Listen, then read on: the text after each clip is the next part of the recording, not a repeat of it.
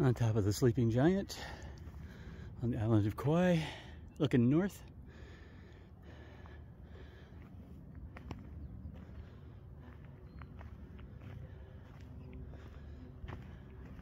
Now westish.